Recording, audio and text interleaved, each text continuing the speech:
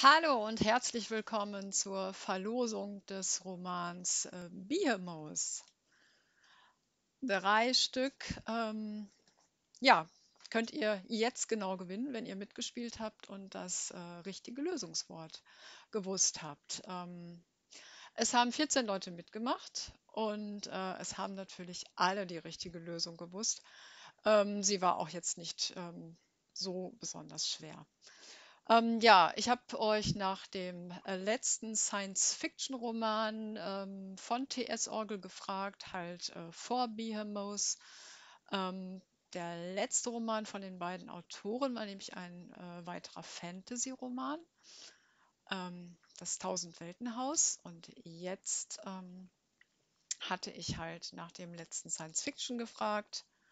Und wie alle wussten, ist das Terra ja, das war auch ein richtig schönes Buch.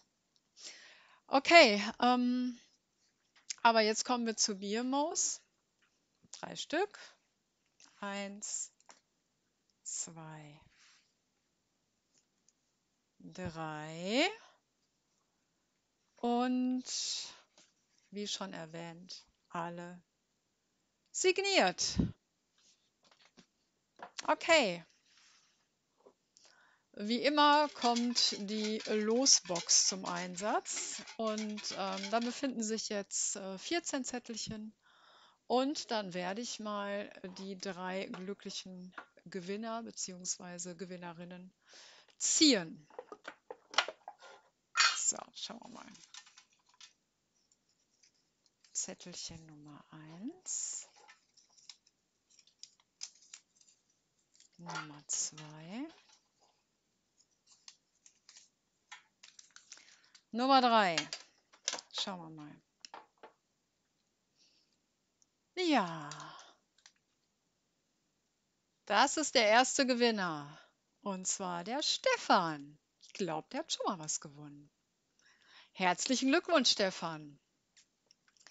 So, und der zweite ist schon wieder ein Gewinner.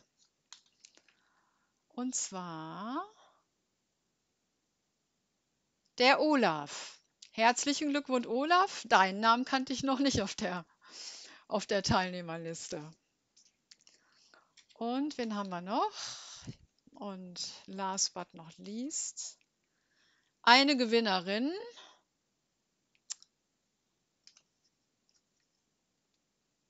Das ist die Barbara. Da kann man es lesen.